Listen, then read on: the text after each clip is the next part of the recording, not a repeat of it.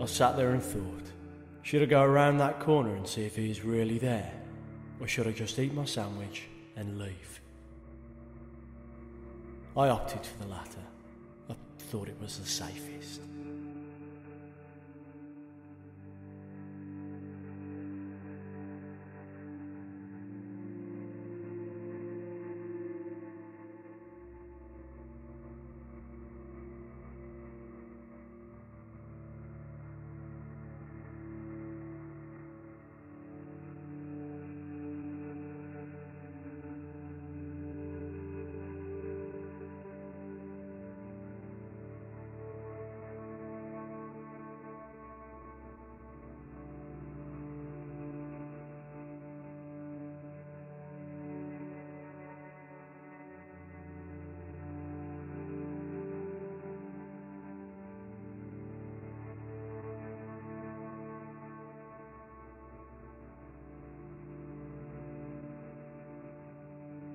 He caught my eye, cocked his head, flicked the ash from a ciggy, and continued without stopping.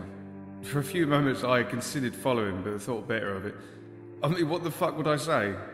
What trouble might one get into?